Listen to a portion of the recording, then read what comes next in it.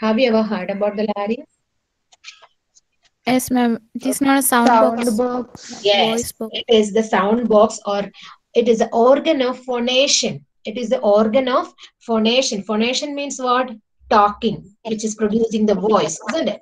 Yes. So uh, the larynx is the upper expanded part of lower respiratory tract.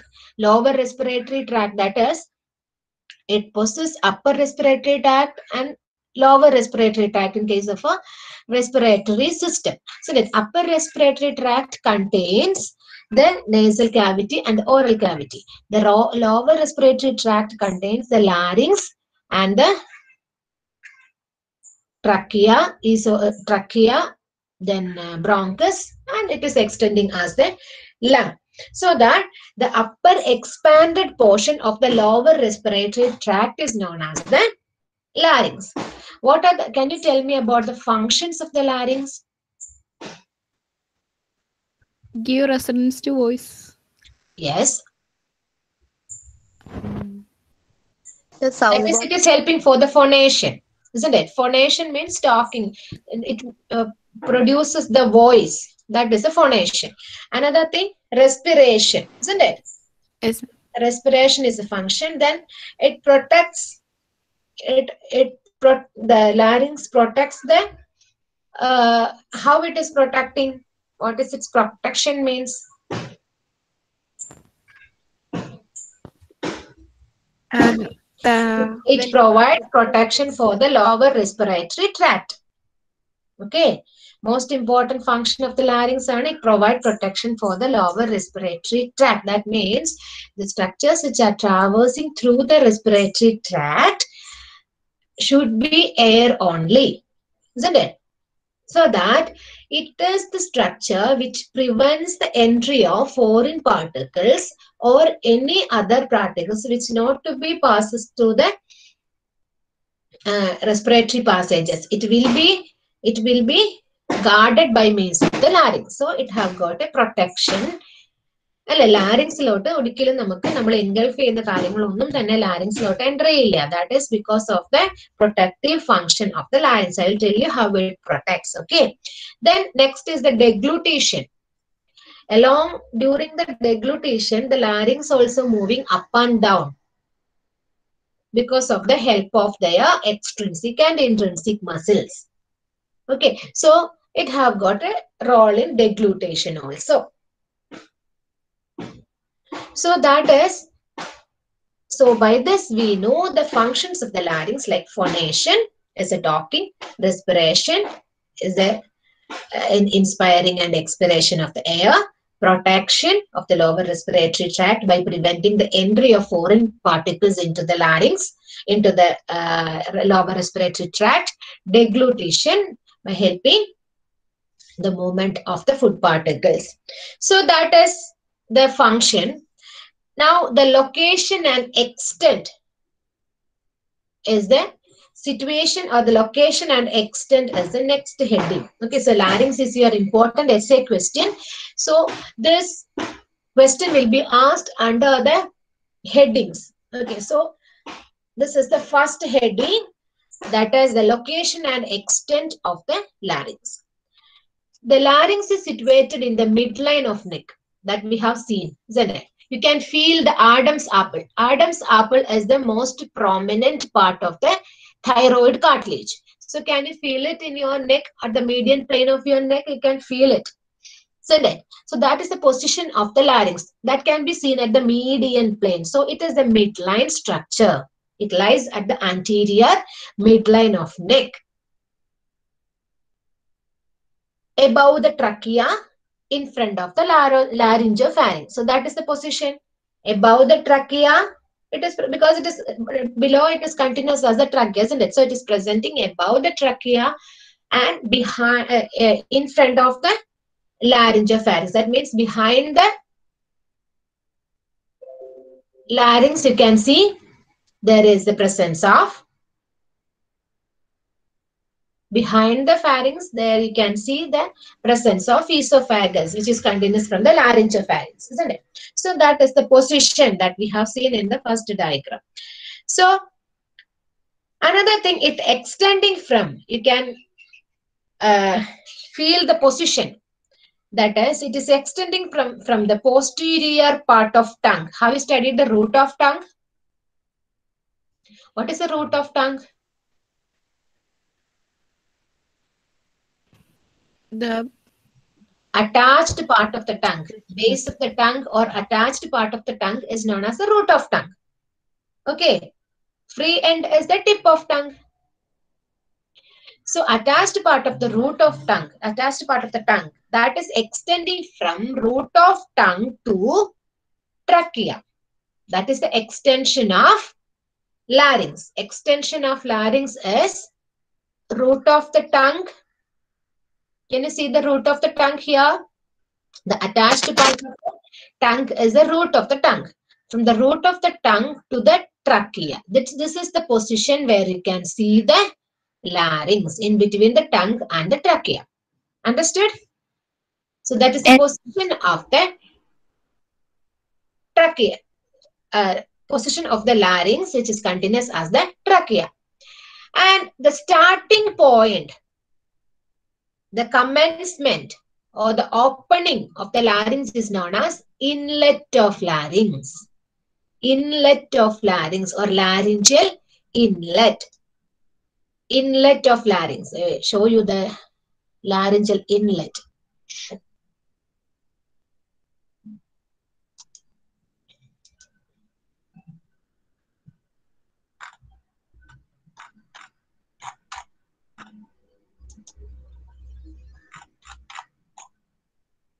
Can you see this diagram? Yes.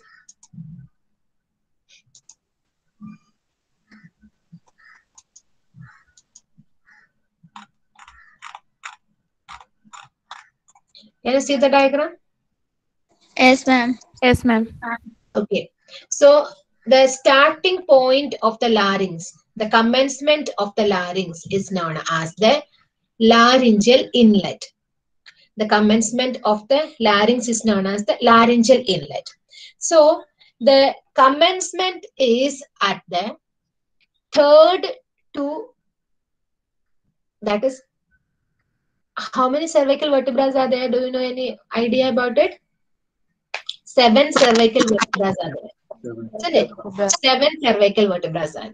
So it is extending from the third cervical vertebra that is this is the upper position. You can see here is the this is the hyoid bone so it is extending from the epiglottis. Can you see the green colored structure here? Leaf like that is the epiglottis which can be seen just behind your tongue.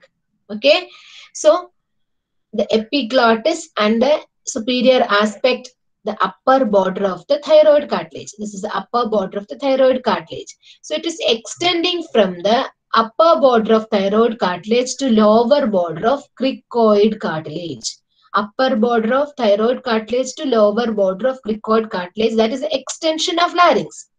So the extension, the complete extension at the vertebral levels, we can say like it is extending from C3 cervical vertebra to C6 cervical vertebra. So this larynx is presenting itself opposite the C3 cervical vertebra to C6 cervical vertebrae. However, in children and females, it is in a higher level. So the normal position of the larynx is extending from C3 to C6 vertebrae opposite C3 to C6 cervical vertebrae in male and highly, uh, sorry, slightly higher in female and children. So this is extending from laryngeal inlet to the lower border of cricoid cartilage. This is the cricoid cartilage. So extending from here to here, that is the larynx. Okay, so this is the situation and extent of the larynx. Situation means it is present at the anterior median plane of neck. That is the position behind, uh, sorry, in front of the laryngopharynx. Uh, then it is presenting itself from the root of or behind the root of tongue. That is its position. From root of tongue to trachea, in front of laryngopharynx, opposite C3 to C6 vertebrae in male and slightly higher in female. So this is the situation and extent of the larynx. The speciality is that the larynx can be seen in a tubular structure because it have got a skeletal basis. That skeletal basis is by means of cartilages. The cartilages can be seen. In the blue, blue colored things are cartilages. We will study about the cartilages. Before that, we have to know the measurements. The size, the next heading is the size. So you have to know the size of the measurement of the larynx. The average measurement of larynx in males and females can be seen like the length. The total length of the larynx 40 millimeter in males, 36 millimeter in females. See the difference. Transverse diameter is 43 millimeter. Transverse means from left to right. The transverse diameter is 43 millimeter in male, 41 millimeter in female. Anteroposterior, that is from front to behind. Anteroposterior diameter is 36 millimeter in male, 26 millimeter in female. Circumference, that is complete periphery. Circumference is 136 millimeter in male, 112 millimeter in female. Until puberty, there is a little difference between male and female. But after puberty, the male larynx undergoes fast development and the thyroid cartilage becomes more prominent and it is named as the Adam's apple. It is named as the Adam's apple. Adam's apple is a common term which is used for the angle of thyroid cartilage. Angle of thyroid cartilage is the common, uh, uh, the Adam's apple is a common term which is using for the angle of thyroid cartilage. The constitution of the larynx or the uh, formation of the larynx, the components which are contributing for the formation of larynx. There are nine cartilages can be seen in a larynx. Nine cartilages out of which three are paired, three are unpaired. Three paired cartilages, three unpaired cartilages are there. All these cartilages, you can see the blue colored cartilages. uh, ഇതിനകത്ത് blue കളറിൽ കൊടുത്തിരിക്കുന്നത് നമുക്ക് കാണാം so there is the cartilages. This is one cartilage that is thyroid cartilage. You can see the second cartilage here, that is the cricoid cartilage. Third cartilage you can see here, that is the arytenoid cartilage. Another cartilage you can see here, that is the epiglottis. Then two more cartilages are there, corniculate and cuneiform cartilages. Corniculate cartilage and cuneiform cartilages are so small nodules of cartilages, rod-shaped small nodules of cartilages that can be seen within the substance of a membrane which is connecting arytenoid cartilage which is presenting itself like a pyramidal shaped structure which is presenting posterior to thyroid cartilage above the cricoid cartilage. And this arytenoid cartilage and epiglottis is connected by means of a fibrous sheath uh, that is named as the Ari epiglottic fold. Arytenoid cartilage, the term from Ari, arytenoid, that is Ari, and epiglottis, Ari epiglottic ligament or membrane. So within that, you can see two nodules of cartilages, that is corniculate cartilage and cuneiform cartilage. We are going to study about its position later. All these cartilages are connected by means of the fibrous tissue, that is the ligaments and membranes the fibrous tissue can be seen in between the cartilages. And also the cartilages are uh, connected by means of synovial joints. Synovial joints are forming in between the cartilages. And these cartilages are moving by means of the muscles. There are intrinsic or extrinsic uh, intrinsic muscles and extrinsic muscles can be seen. Intrinsic muscles are connected between the cartilages and the extrinsic muscles are connected the larynx to rest of the structures which can be seen in relation with it. The entire cavity is lined with the mucous membrane. The larynx, inside the larynx, there is a cavity which is continuation of the respiratory tract. So inside that you can see the mucous membrane. So now we will see the paired and unpaired cartilages. So three unpaired cartilages are this one first thyroid cartilage. Largest cartilage is a thyroid cartilage. Second one cricoid cartilage. Third one epiglottis. So thyroid, cricoid, and epiglottis. These are the three large cartilages which are unpaired. That means only single in nature. Rest of the three are paired. So that they together forming into six number. Here it is three and here it is six. That's why total nine cartilages. The arytenoid cartilage in paired section, there is a cartilage which is named as the arytenoid cartilage. This is the arytenoid cartilage. This is the arytenoid cartilage, which can be seen in a pyramidal shaped or a triangle. It is representing as a triangle in this diagram. So it is a pyramidal shaped structure.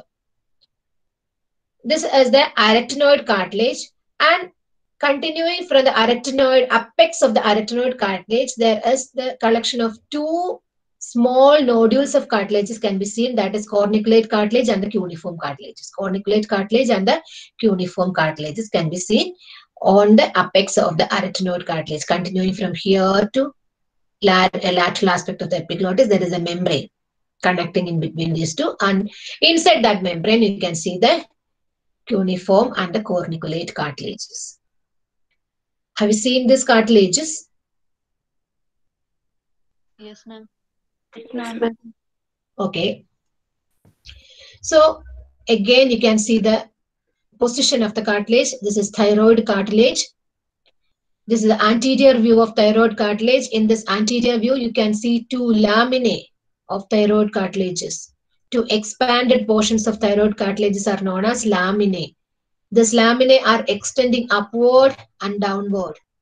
Posteriorly, posterior part of the laminae extending upward and downward. Upward as the greater horn or the greater cornua. Downward as the inferior horn or the lesser horn or the lesser cornua. So right and left thyroid laminae. This is the anterior view. But posteriorly, thyroid laminae are separated by a gap in between. Or posteriorly, it is incomplete. The two posterior borders can be seen apart. In between these two posterior borders, you can see the lamina of cricoid cartilage. The cricoid cartilage have got a position below the thyroid cartilage. Position below the thyroid cartilage, you can see the cricoid cartilage. This cricoid cartilage extending posteriorly upward as an expansion that is the lamina of cricoid cartilage. The lamina of cricoid cartilage is positioned between the two posterior borders of thyroid cartilage. Above the lamina of cricoid cartilage, there is the arytenoid cartilage situated. Above the lamina of cricoid cartilage, there is the arytenoid cartilage situated. Extending from the apex of arytenoid cartilage, there is the corniculate cartilage. Corniculate cartilage can be seen on the apex of the arytenoid cartilage. From the apex to a membrane extending to the epiglottis, that is the aryepiglottic fold. Within the aryepiglottic fold, there is the cuneiform cartilage. It is the smallest nodule of cartilage. The cuneiform cartilage can be seen. So these are the nine cartilages and this is the leaf-like epiglottis. Leaf-like epiglottis. These are the nine cartilages. Thyroid cartilage, cricoid cartilage. This is the posterior aspect of the thyroid cartilage. The cricoid cartilage. Posteriorly only we can see inside. There is the arytenoid cartilage, corniculate cartilage and the cuneiform cartilages. Understood? This is the thyroid cartilage. So we will study the single cartilages. This is the thyroid cartilage.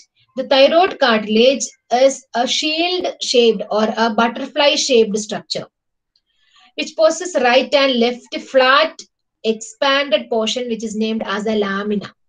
Flat or expanded portion which is named as a lamina.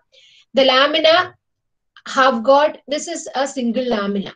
A single lamina can be seen like this. It possesses an expanded portion and by getting posteriorly, it is expanded above, it is extending downward. Extending above as the greater horn or the greater cornua, extending downward as the lesser horn or the lesser cornua. It possesses an oblique line which is extending from the upper part of the greater cornua which is extending downward as a ridge. That is the oblique line of on the lamina of thyroid cartilage there is an oblique line of lamina can be seen. The upper part of the oblique line and the lower part of the upper end of the oblique line and the lower end of the oblique line are well marked. It is projected. That is named as the superior tubercle of thyroid cartilage, inferior tubercle of thyroid cartilage. It is the thyroid cartilage is open posteriorly. It is open posteriorly and the right and left laminae they are making an angle anteriorly.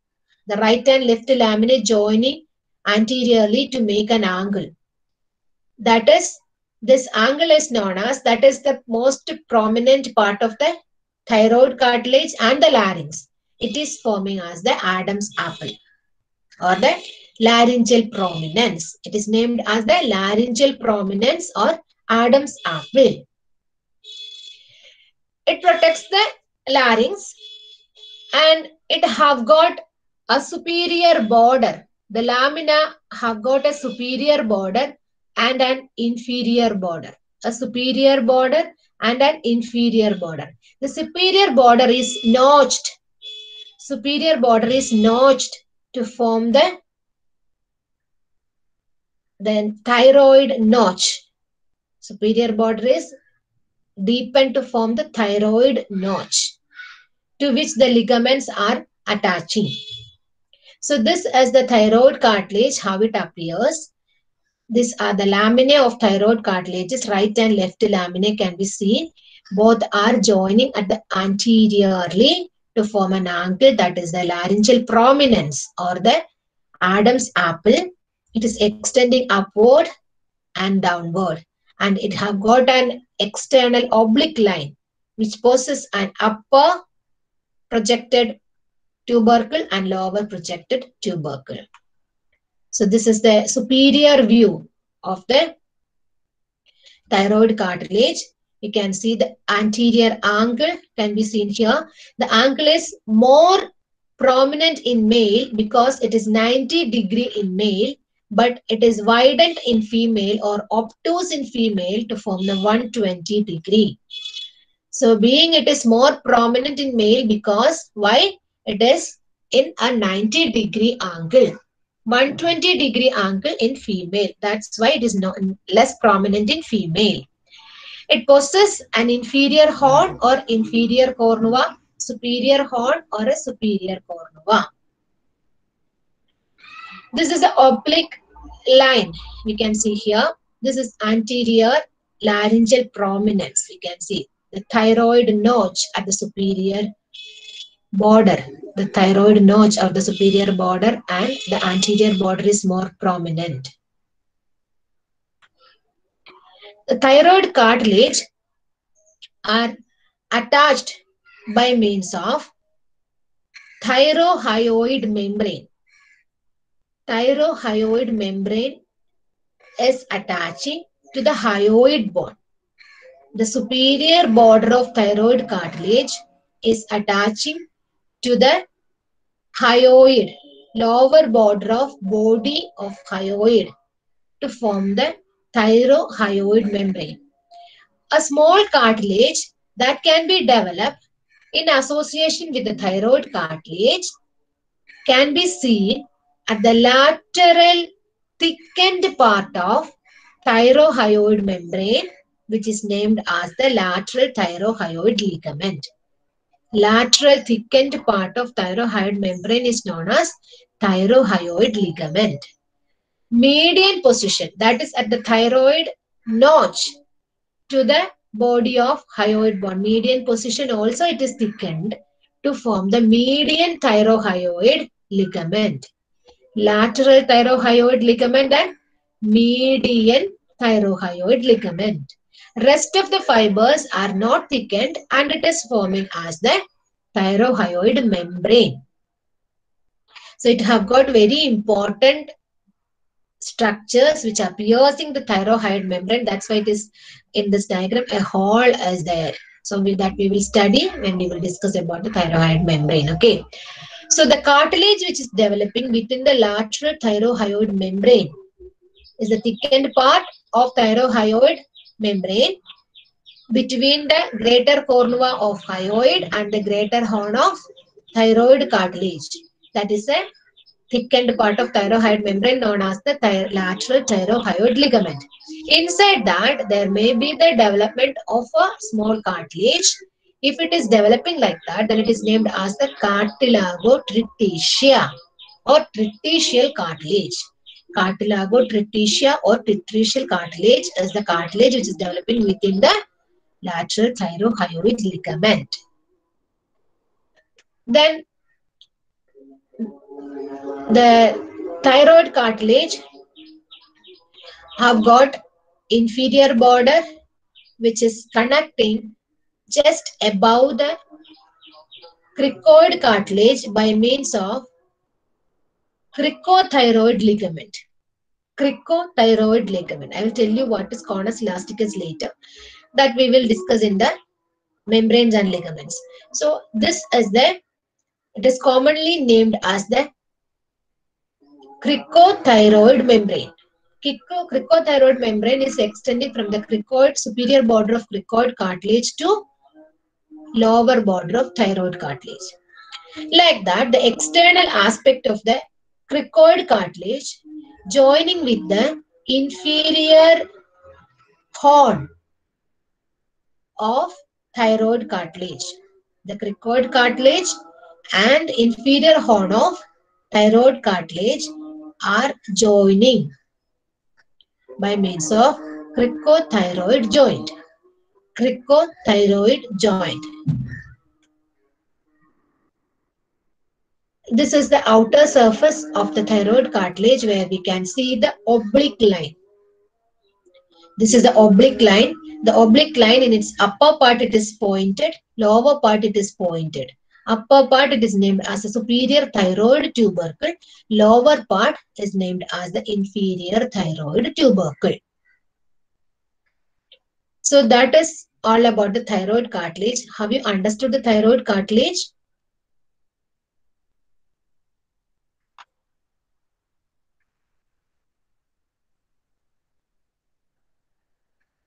Can you hear me? Yes, ma'am. Yes, ma'am.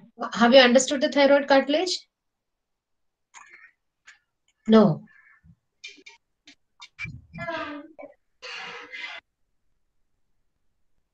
So this is the thyroid cartilage which can be seen as right and left laminae which are joining at an angle to form the median thyroid prominence. And it is extending upward and downward as greater horn and lesser horns. And the laminae possess an external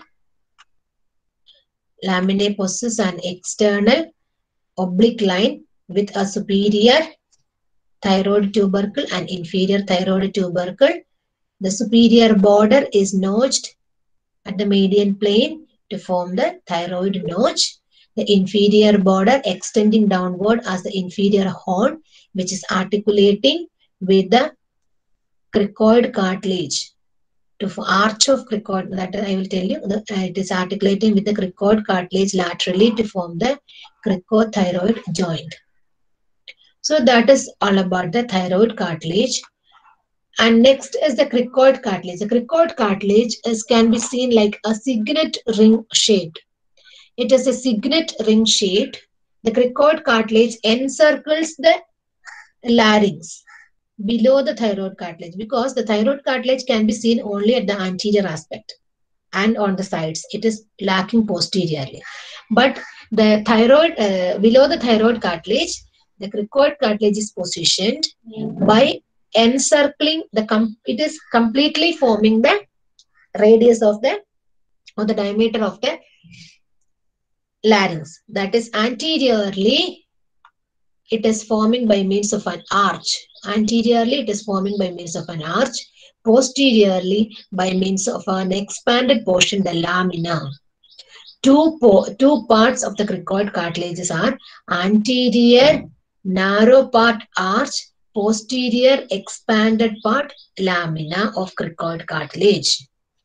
Both these are extending together and forming as the cartilage. This is the shape of a signet ring. That is an old ring, signet ring shaped.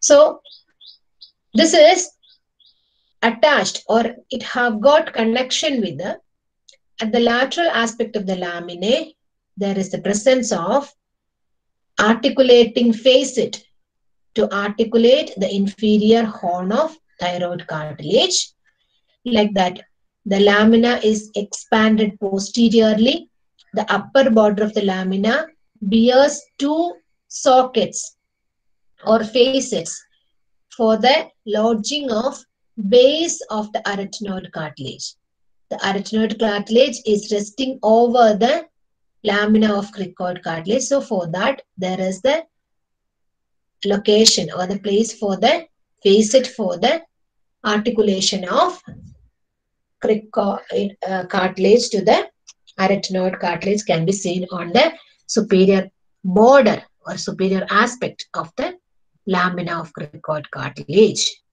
So these are the two parts of the cricoid cartilage, anterior arch, which can be seen just below the thyroid cartilage, and posterior lamina, which can be seen in between the two posterior borders of thyroid cartilage. So next is about the epiglottis. Epiglottis is a leaf-shaped or tongue-shaped structure which is attached lower narrow end is attached to the angle of thyroid cartilage interiorly or internally and it is presenting itself superiorly behind the tongue this is the structure which guarded partially guarded guarding the laryngeal inlet or the can ah സൂര്യക്ക് ആണെങ്കിൽ മീറ്റിൽ കയറാൻ പറ്റുന്നില്ല. അപ്പൊ ചേട്ടന്റെ ഐഡിയിൽ നിന്ന് കയറാനായിട്ട് നോക്കുന്നുണ്ട്. അപ്പൊ റിക്വസ്റ്റ് ഒന്ന് അക്സെപ്റ്റ് ചെയ്യാൻ പറ്റുമോ ചോദിച്ചു. ഇതിനകത്ത് വന്നാലേ എനിക്ക് അയക്കാൻ എടുക്കാൻ പറ്റുള്ളൂ. സൂരജ് എന്തോ പറഞ്ഞിട്ടുള്ള ഒരു ഐഡി എന്നാ വന്നേന്ന് അത് സി അത് ഇതിനകത്ത് വരുവാണെങ്കിൽ ഐ വിൽ അക്സെപ്റ്റ് ഓക്കെ കേട്ടോ. Okay. So the epiglottis, so epiglottis is leaf-shaped or tongue-shaped structure, the anterior wall of the upper part. It is forming as the anterior wall of the upper part. It possesses an anterior surface and a posterior surface. The epiglottis have got anterior surface, which is presenting itself towards the thyroid cartilage and towards the tongue posterior surface, it is present towards the cavity of the larynx. So it possesses two surfaces, anterior oral surface, posterior laryngeal surface. Possesses two ends, upper broad end, lower narrow end. Upper broad end and lower narrow end. Upper broad end is free end.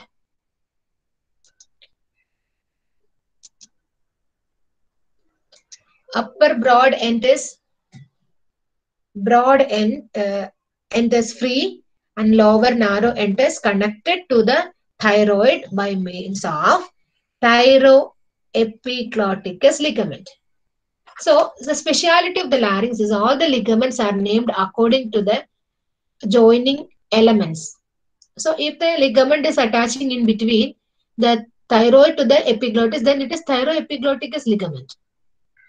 If it is attaching between the arytenoid and the epiglottis, then it is aryepiglottic ligament. Like that, all the names are presenting between the two elements to which it is attaching.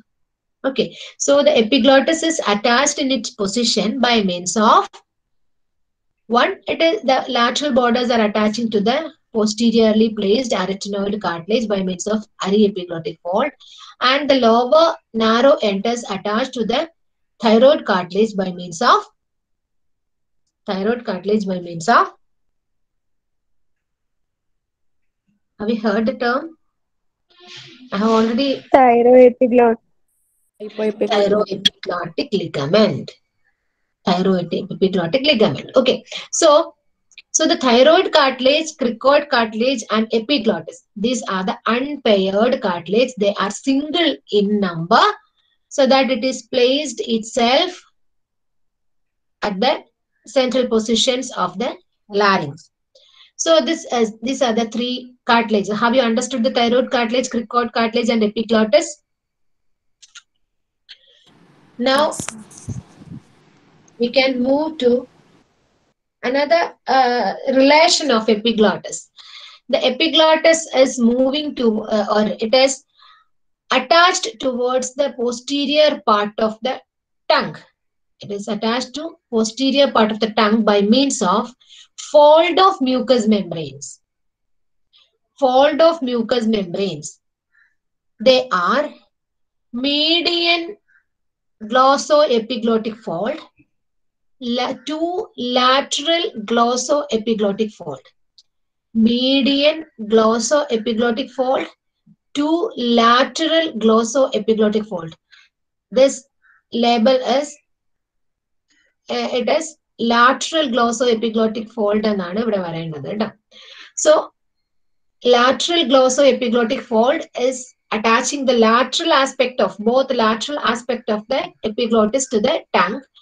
Median glossoepiglottic fold attaches the anterior surface or the oral surface of the epiglottis to the tongue. In between the median glossoepiglottic fold and the lateral glossoepiglottic fold, there is a depression can be seen in between the epiglottis and the tongue. That is named as the vallecula. Have you studied it in the tongue? Yes, ma'am. Yes, ma'am. So that is the position of the vallecula can be seen in relation with the tongue at the posterior end of the tongue. Next is the arytenoid cartilage. Next cartilage is the arytenoid cartilage. The arytenoid cartilage can be seen as a pyramidal shaped structure. This is the shape of, can you see the pyramid? This is the pyramidal, this is the position of the arytenoid cartilage. It is resting over the, which cartilage? Cricoid cartilage. cricoid cartilage, lamina of cricoid cartilage. It is presenting over the lamina of cricoid cartilage. The base is articulated with the cricoid cartilage. The base, the pyramidal shaped apex is directed upward, base is directed downward. The base is resting over the lamina of lamina of uh, the cricoid cartilage. The arytenoid cartilage have got at the lower base is projected to the cavity of the larynx and towards laterally. Two projections or processes can be seen in relation with the arytenoid cartilage. That is one which is extending to the laryngeal cavity. That is the median vocal process.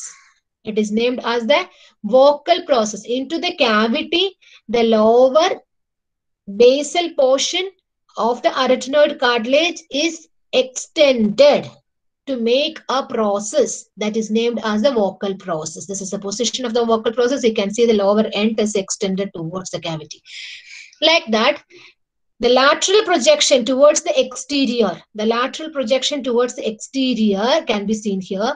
That is the muscular process of the arytenoid cartilage. So at the base, a median pro- uh, process and a lateral process can be seen. The median process is the median process is the vocal process. Lateral process is the muscular process. And it is extending upward. This vocal process later taking part in the formation of vocal cord. This is extending upward as the apex. The apex receives the which cartilage? Corniculate cartilage. Receives the corniculate cartilage. So this is the position and processes of the arytenoid cartilage. Here you can see the medial towards the cavity. There is an extension that is the vocal process.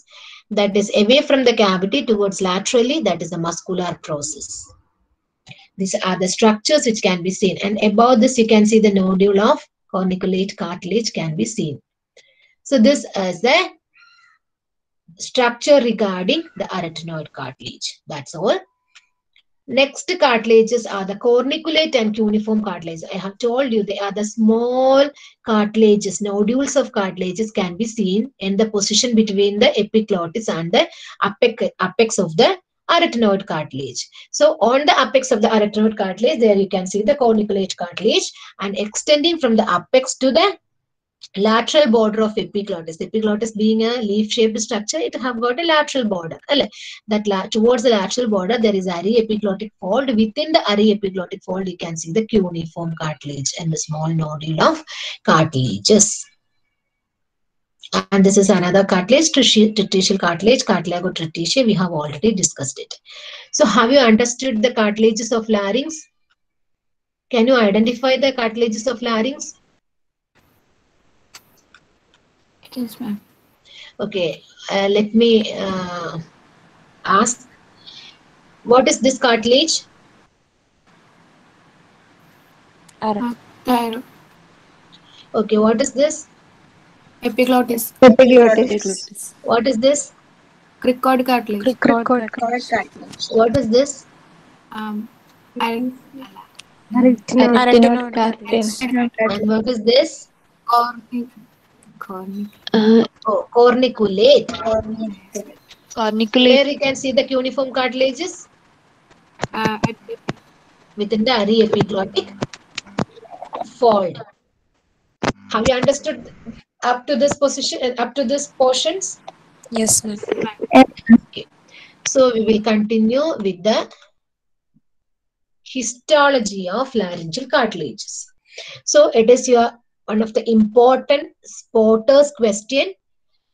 We will ask in histology of laryngeal cartilage or in gross anatomy spotters, we will pin the epiglottis and ask for the practical examination. We'll ask what is the type of cartilage forming in it. Okay, so the epiglottis, corniculate, and cuneiform are the elastic cartilages. The speciality of the epiglottis, it is formed by the elastic cartilage. It, is, it have got an elasticity. The uh, thyroid cartilage, cricoid cartilage, and base of the arytenoid cartilages are hyaline cartilages. Thyroid, cricoid, and the base of the arytenoid cartilages are hyaline cartilages. And this, this cartilages will ossify that's why in an adult, we can see it like a bone, isn't it? So it, the hyaline cartilages are ossifying after 25th year of the lifespan. So uh, epiglottis is an elastic cartilage, uh, lifelong it is, it will not ossify and it will remains as such. Now the joints which can be, this is a type of synovial joint that provides some slightly moving uh, joints so the joints are cricothyroid joint and cricoarytenoid joint. Cricothyroid joint means it is the joint which is occurring in between the lower horn of thyroid cartilage to the lamina of cricoid cartilage, lateral aspect of lamina of cricoid cartilage. The joint between these two is cricothyroid joint. The movement is the rotatory movement during the deglutition, the rotatory movement around a transverse axis occurs. So that is the speciality of the cricothyroid joint. It's slightly up and down movement providing. Then cricothyroid joint. Cricothyroid which provides a rotatory movement. That is the vocal process coming closer and it is moving apart. That is the movement of cricoarytenoid joint which is occurring in between the lamina of cricoid cartilage and the base of the arytenoid cartilage. That is, this is the uh, movement which are helping for the respiration during the inhalation and exhalation. The vocal fold have to move, isn't it? To uh, give the passage and also to prevent the entry of the passage. So for this purpose, the cricoarytenoid joints are moving that is two arytenoid vocal processes are coming together to close the laryngeal cavity and they are moving apart to open the laryngeal cavity. So that is cricoarytenoid joint and cricothyroid joints, two joints which can be seen in the thyroid, laryngeal, thyroid cartilage, cricoid cartilage and the arytenoid cartilage. In between these three cartilages, we can see two joints. Have you understood? Yes, ma'am. Study about the membranes and ligaments. The membranes and ligaments. There are extrinsic membranes and intrinsic membranes. Extrinsic membranes and intrinsic membranes and ligaments can be seen in relation. What is the difference between the extrinsic and intrinsic? Extrinsic means they are the membranes which are present outside the larynx. Fibroelastic tissue of laryngeal cavity. It is a fibroelastic tissue which are connecting the larynx to the structures which are present outside the larynx. So they are thyrohyoid, thyrohyoid ligament, cricotracheal ligament, hyoepiglottic ligament.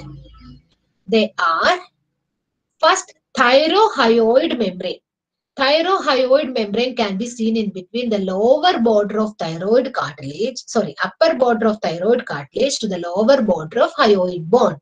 The lower border of hyoid bone to the upper border of thyroid cartilage, you can see the membrane, fibroelastic tissue attaching in between is known as the thyrohyoid membrane. The thyrohyoid membrane at the median plane, it is thickened to form the median thyrohyoid ligament. At the lateral aspect between the greater horn of hyoid and the greater horn of thyroid cartilage, in between it is thickened to form the lateral thyrohyoid ligament. So median thyrohyoid ligament and lateral thyrohyoid ligament are the parts of thickening of thyrohyoid membrane the thyroid membrane pierced by the two important structures that is internal laryngeal nerve, the branch of the superior laryngeal nerve of the vagus. We have studied in carotid triangle, the vagus gives one branch in the carotid triangle that is the superior laryngeal which is dividing into external laryngeal and internal laryngeal. That internal laryngeal is the nerve of, which is supplying the interior, the mucosa of the interior of the larynx. So that for this purpose, it have to enter into the larynx. So it is entering into the larynx by piercing this. Uh, this now uh, represents the superior laryngeal, and you can see two divisions which are passing one downward and one into the thyroid membrane. Which is passing into the thyroid membrane is the internal laryngeal nerve, which is passing downward to the muscle, the cricothyroid muscle, that is the external laryngeal nerve, which is traversing over the larynx downward to reach the external aspect of the cricoid uh, cartilage. So this is the internal laryngeal nerve which pierces the thyroid membrane and the accompanying structure is the superior laryngeal artery and vein. Superior laryngeal artery and vein. They are the superior laryngeal artery is the branch of superior thyroid artery. Superior thyroid artery in turn the branch of external carotid artery. So superior laryngeal artery along with the internal laryngeal nerve they accompany together and passes into the thyroid membrane by piercing it into the substance of the larynx. So that is a specialty of thyroid membrane. Then second membrane is the cricotracheal membrane or the cricotracheal ligament. Second extrinsic membrane is the cricotracheal membrane. The cri- cricotracheal membrane or the ligament is present in between the lower border of arch of cricoid cartilage to the upper first tracheal ring. Upper border of first tracheal ring to lower border of cricoid cartilage. That is the cricotracheal ligament. Cricotracheal ligament. The another one is hyoepiglottic ligament. Hyoepiglottic ligament is present in between the hyoid bone, interior internal aspect of the body of hyoid bone to the anterior surface of the epiglottis. That is which is helping to maintain the position of the of the epiglottis അല്ല epiglottis ഇങ്ങനെ ബാക്കിലേക്ക് പോയി ഈ complete cavity അടഞ്ഞു പോവാതിരിക്കാൻ ഇതിന്റെ പൊസിഷനിൽ അതിനെ പിടിച്ചു നിർത്തുന്ന ഒരു ലിഗമെന്റ് ആണ് hyoepiglottic ligament hyoepiglottic ligament is a ligament which is attaching the internal aspect of the body of hyoid to the anterior surface or the oral surface of the epiglottis. So these are the three extrinsic membranes, namely thyrohyoid membrane, cricotracheal membrane, and the hyoepiglottic membrane. Membranes and ligaments are same. Thi- Depending upon the thickening, it is named as a ligament, or it is if it is less thickened, it is named as a membrane. That's all. Both are same. Have you understood?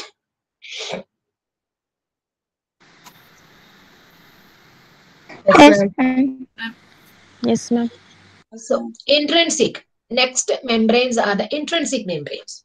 So intrinsic membranes, they are the fibroelastic membranes again, which can be seen just outside the mucous membrane and at the interior of the larynx, which are connecting in between the cartilages of the larynx. They are present just outside the mucous membrane. Why? Because the internal most lining is the mucous membrane. External most, there is the external uh, ligaments can be, extrinsic ligaments can be seen. In between these two, you can see the intrinsic ligaments which are connecting the internal borders of the cartilages. So they, they are named as quadrate membrane or quadrangular membrane, quadrate membrane or quadrangular membrane, cricovocal membrane, cricovocal membrane, then vocal membrane or vestibular membrane or the vocal ligament or vestibular ligament. All these are the part of, uh, so the majorly four ligaments we can name it. That is quadrangular membrane or quadrate membrane, cricovocal membrane, cricovocal membrane, then vestibular ligament, vocal ligament. Four ligaments, majorly four ligaments, and there are subdivisions and the, there are uh, some thickenings are additionally named. Okay, so I'll tell you first about the quadrangular membrane or quadrate membrane. Can you see the epiglottis here? This is the position of epiglottis, isn't it? So the la- from the lateral aspect of the epiglottis, extending from the epiglottis to the arytenoid. It is extending from the sides of the epiglottis to the arytenoid, and its lower edge is free. Can you see the lower edge, free edge? Can you see here?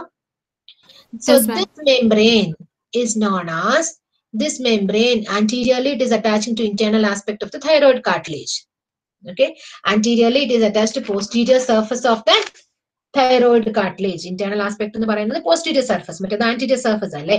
So posterior surface of the thyroid cartilage. So this is the so-called quadrangular or quadrate membrane. Can you see the position of the quadrangular membrane? The lateral aspect of the thyroid, car- lateral aspect of the epiglottis to the arytenoid cartilage posteriorly and anteriorly to thyroid cartilage. This is the extending ligament, is the quadrangular membrane. Okay, the speciality is that posteriorly from the arytenoid cartilage to the posterior aspect of thyroid cartilage at the lower border it is free. It is not attached. That border is forming as the vestibular ligament. Vestibular ligament the lower border of the quadrangular membrane or the quadrate membrane is known as the vestibular ligament there is a mucus covering over this vestibular ligament which is forming as a vestibular fold vestibular fold can be seen as a projection of fold of mucous membrane which is projecting towards the cavity from the wall of the pharynx. The vestibular fold is a fold which is extending, that is a fold of mucous membrane which have uh, beneath there is the vestibular ligament is there and it is projecting towards the cavity of larynx. It is projecting towards the cavity of larynx as the vestibular fold. That vestibular fold is known as false vocal cord. Vestibular fold is the upper fold of laryngeal cavity.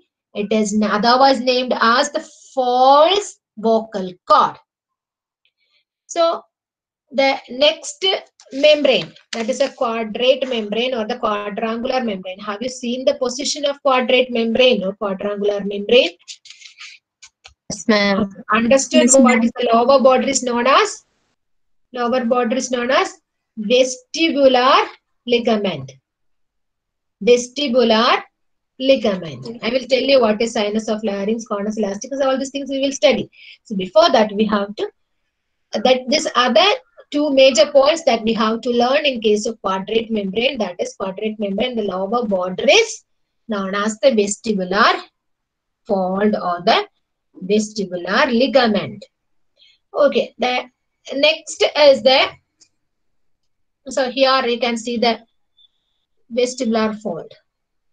Can you see the vestibular ligament marked in here in this diagram? It is otherwise named as the false vocal cord. Understood?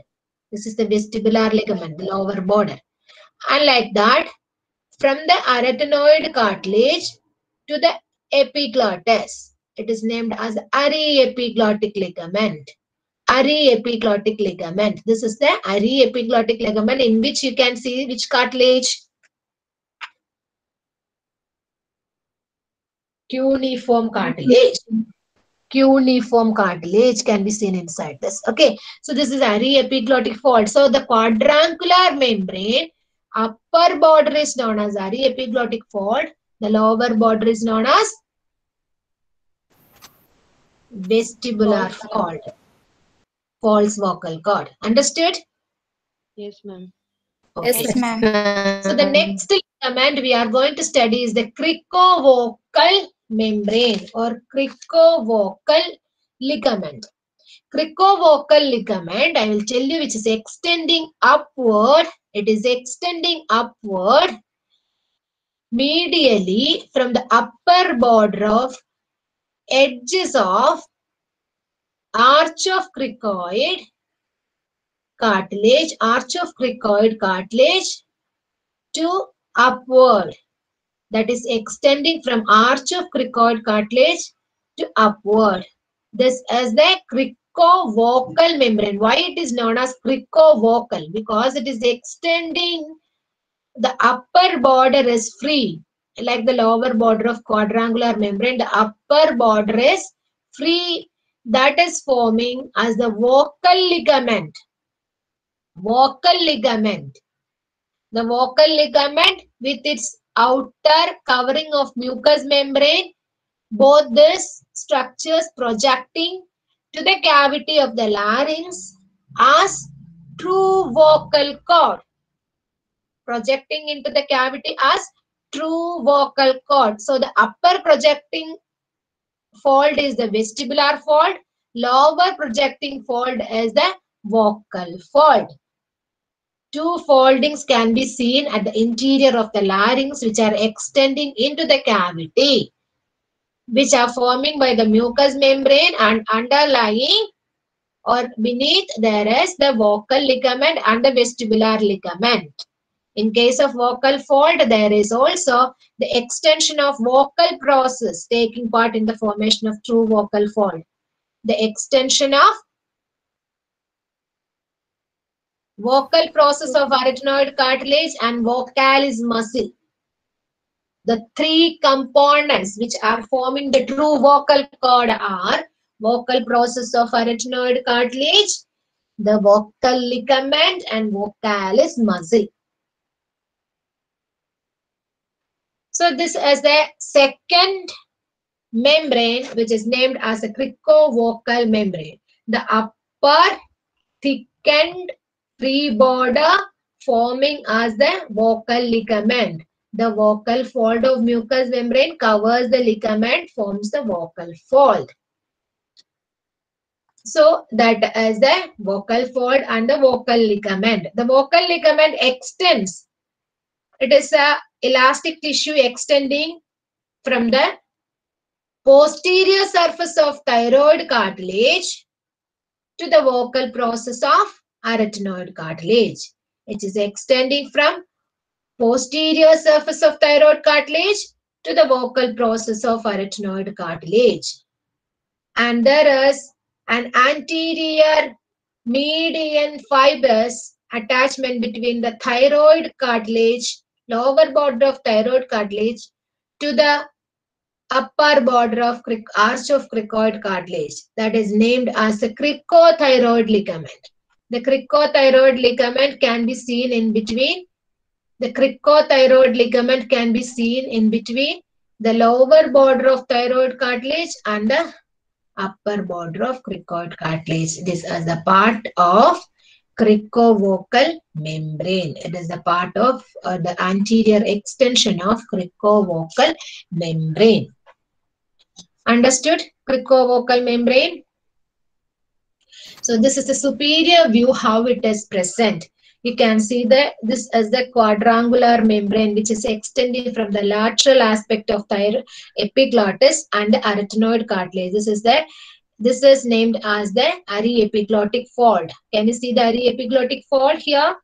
The aryepiglottic fold is extending from lateral aspect of the epiglottis to the arytenoid cartilage posteriorly. This is aryepiglottic fold and the lower end of quadrangular membrane is named as the vestibular ligament. Vestibular ligament from the epiglottis to the vestibular ligament is extending from the epiglottis to the arytenoid cartilage. So that is vest lower vestibular ligament, upper aryepiglottic fold. In between fibers are known as the quadrangular membrane.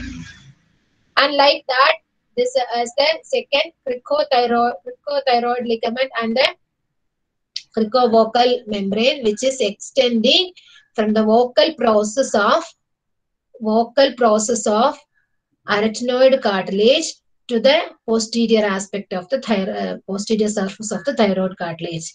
So these are the two projections can be seen towards the cavity of the larynx, which partially and completely controls the entry of air through these narrow channels, which controls the entry of air through this cavity. This is the cavity of the larynx, which is guarded on both sides by means of the vocal fold. This is a true lower two, two processes or the two foldings towards the cavity is known as the vocal fold, two true vocal fold, and these are the upper two foldings. They are named as the vestibular fold.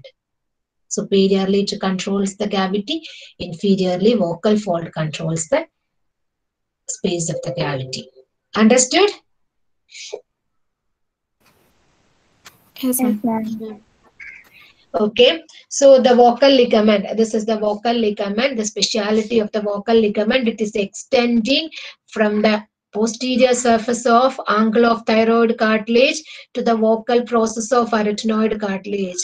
This is the extension of true vocal cord. You can see the crico uh, vocal ligament. This is the crico vocal ligament which is controlling. ഈ crico vocal ligament ഉള്ളത് കൊണ്ട് ഈ ഒരു ക്യാവിറ്റിയിൽ കൂടെ മാത്രമാണ് എയറിന് ലാരിങ്സിലോട്ട് entry ചെയ്യാൻ പറ്റത്തുള്ളൂ okay so that's why this is the two foldings which controls the phonation that's why it is named as a true vocal cord this possesses an anterior and posterior part the anterior part and posterior part is by means of anterior intramembranous part and posterior intercartilaginous part the cavity can be divided into two. By means of the anterior part of the true vocal cord is formed by the membrane and posterior part of the uh, the cavity is bounded by means of the cartilages. Cartilage to right and left arytenoid cartilage. So the cavity guarded by intramembranous and intracartilaginous portions so you can see the laryngeal cavity can be seen like this so this is the epiglottis extending downward and two projections you can see in this diagram isn't it Can you see the upper projection and the lower projection which is extending into the cavity? The upper projection is the vestibular fold. Lower projection is the lower projection is known as the Um, Crico-vocal fold. vocal fold. Simply the vocal fold or the true vocal cord. Upper fold is the vestibular fold or the false vocal cord. Lower fold is the true vocal cord or the vocal fold. Okay, the inlet of the larynx. This is the inlet or starting of the laryngeal cavity is known as the inlet of the larynx. The inlet of the larynx is extending from the uh, starting point which is guarded by the epiglottis and the arytenoid cartilages and the aryepiglottic fold and it is extending up to the lower border of cricoid cartilage. So this is the laryngeal cavity. The laryngeal cavity extending up to cricoid cartilage from there it is continuous as the trachea. So this can be divided into, the cavity can be divided into supraglottic part, glottic part and infraglottic part. Supraglottic part, glottic part and infraglottic part. Supraglottic means above the above the vestibular fold. Above the vestibular fold, the cavity is known as supraglottic part. Below the vocal fold, the cavity is known as the infraglottic part. In between the vestibular fold and the vocal fold, the cavity is invaginated into the wall of the larynx that is named as the middle glottic part or the sinus of larynx. Supraglottic part, infraglottic part, middle glottic part or the sinus of larynx. Understood? These are the three subdivisions of the larynx, supraglottic, infraglottic and sinus of larynx. Understood? Supraglottic above the vestibular fold, infraglottic below the vocal fold. In between the two foldings, the invagination of the cavity into the substance of the larynx towards the wall of the pharynx is known as the glottic part or the sinus of larynx. So this is the inlet of larynx. So you can see the posterior aspect of the tongue here and you can see the soft palate here, the nasal cavity you can see here. Soft palate partially guards and this is the nasopharynx continuous as the oropharynx here and continuous as the laryngopharynx. Esophagus will passes like this and laryngeal cavity passes like this. So this is the larynx. The epiglottis you can see behind the tongue. Can you see the epiglottis here? The epiglottis, uh, this is the upper margin of epiglottis. The upper margin of epiglottis is connected posteriorly, continuous posteriorly by aryepiglottic fold. These two margins represents the aryepiglottic fold. The aryepiglottic fold are attaching to the two posterior epiglot uh, arytenoid cartilages to the lateral aspect of epiglottis. So this is the laryngeal inlet. The laryngeal inlet guarded. So we will study the boundaries of laryngeal inlet first.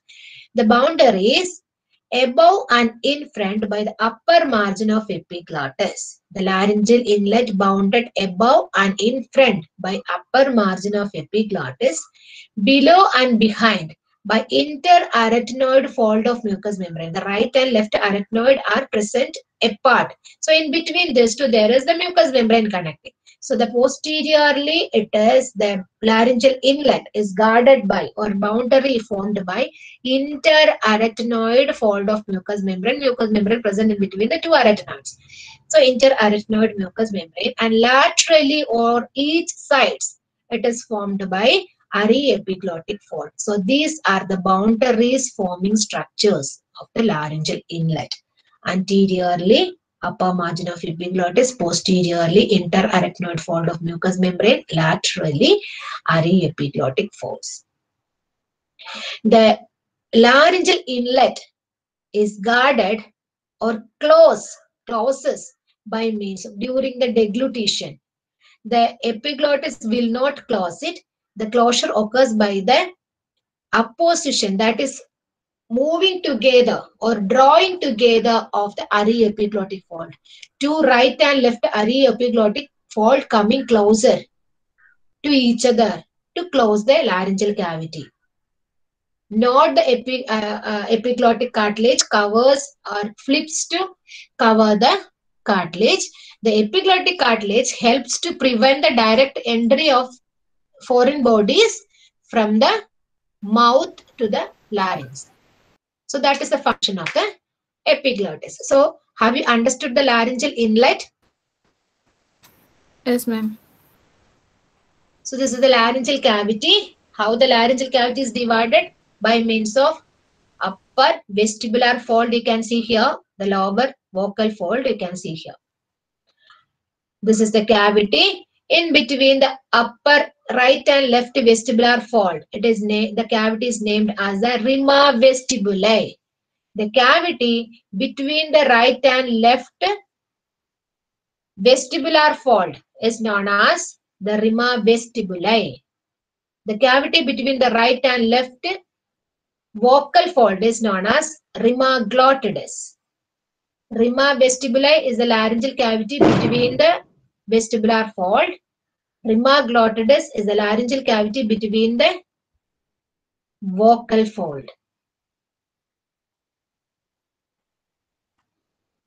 So this is the rima glottidis. Rima glottidis is the, you can see these are the two right and left vocal folds. Right and left vocal folds in between these two the laryngeal cavity extending that cavity is named as a rima glottidis.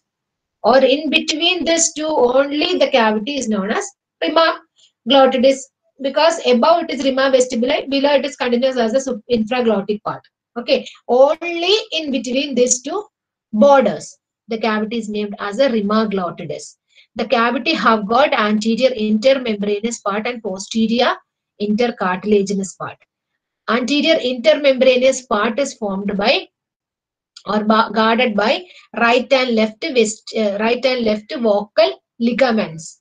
So that's why it is named as the intermembranous part. That is anterior three fifth, and posterior two fifth is the intercartilaginous part. That is guarded by right and left arytenoid cartilage and interarytenoid mucous membrane. Interarytenoid mucous membrane. So this is the cavity which is extending in between the true vocal folds or the true vocal cords. The cavity is named as the rima glottidis. The air which is traversing through this rima glottidis controls by means of the movement of the adduction and abduction of vocal folds that will lead to the variations in pitches of the sound. Understood? Yes, So the laryngeal cavity Yes. Laryngeal cavity can be divided into three. The supraglottic part glottic part and the infraglottic part. The supraglottic part is above the vestibule. It is otherwise named above the uh, vestibular fold. Above the vestibular fold. So that the cavity above the vestibular fold is known as the vestibule. The cavity above the vestibular fold is known as the vestibule cavity below the vocal fold is known as the infraglottic part. Infraglottic part. Below the vocal fold, it is named as infraglottic part. Above the vocal vestibular fold, it is named as the vestibule or supraglottic part. In between the two foldings, the cavity is known as sinus or ventricle of larynx. Sinus or ventricle of larynx. Can you see the ventricle of larynx? All these things are labeled in this diagram nicely, isn't it? So here, look at the sinus of larynx. The ventricle of larynx, can you see the ventricle of larynx here? The ventricle of larynx is extending upward and downward as saccule. The ventricle of larynx extending upward and downward as saccule of larynx. The sac-like extensions of the larynx are known as saccule of larynx. Understood? Yes, ma'am. Ma'am. Okay, so but ഇത് sinus ആന്ന് പറഞ്ഞിരുന്നത് ആ sinus of larynx കാവിറ്റിയുടെ പേരാണ് അതിന്റെ upward and downward extension ആണ് saccule okay the cavity is known as the sinus or the ventricle ഇതെല്ലാം അതിന്റെ പേര് തന്നെയാണ് അതിന് അപ്വേർഡ് എക്സ്റ്റൻഷനും ഉണ്ട് ഡൗൺവേർഡ് എക്സ്റ്റൻഷനും ഉണ്ട് that upward and downward extensions R സാക് like pouches they are named as sacules understood yes ma'am okay this sinus of larynx otherwise known as the sinus of morgagni sinus of larynx or ventricle of larynx otherwise named as the sinus of morgagni it is present in between എന്തിന്റെയൊക്കെ ഇടയിലാണ് the vestibular fold and the vocal fold. Okay. Then you can see the saccule in this picture. see the difference between the sinus and the saccule? Sinus is the cavity present in between that extensions of the upward and downward saccular extensions are known as the saccules of the larynx. Have you understood now? Okay. So these are the interior of larynx. What it is? The heading is interior of larynx. The cavity of larynx is the interior of larynx. Now, we have studied the cartilages of larynx, the ligaments of larynx, all these things. We have studied the cavity of larynx. Three major things about the larynx we have discussed. Have you understood or not? Yes, ma'am. All of you? Yes, ma'am. If you have any doubts, you can ask now. Okay, anyway, go through the topics. I think um, you have to go through the topics, then only you can ask doubt, isn't it? So you can go through the topics. After that, you can ask if you have any doubts. Okay, so now we are going to study about the muscles of extrinsic muscles and intrinsic muscles of larynx. The extrinsic muscles are the muscles attaching to hyoid they are the depressors of the larynx. They are the depressors means they helping for the movement downward movement of the larynx which is helping the larynx or pulling the larynx downward. The muscles attaching the lower ends from the sternum that is sterno thyroid from the sternum to thyroid cartilage sternothyroid sternum to hyoid. That is sternohyoid. From thyroid cartilage to the hyoid. Thyrohyoid. So these are the three muscles which are acting as the extrinsic muscles of larynx. From the sternum to thyroid to hyoid.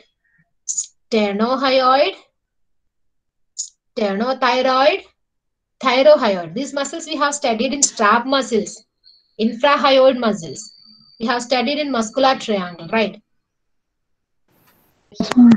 Yes, yes, okay, then the extrinsic muscles attaches to thyroid can be seen here. This is the thyroid cartilage. We can see inside. This is the thyroid cartilage. So from the hyoid, position of the hyoid to this is thyroid cartilage. Hyoid can be seen in this position. The muscle is present externally. These are the muscles now we are going to learn with, which is present internally. Can you see the palate here? This is the soft palate, isn't it?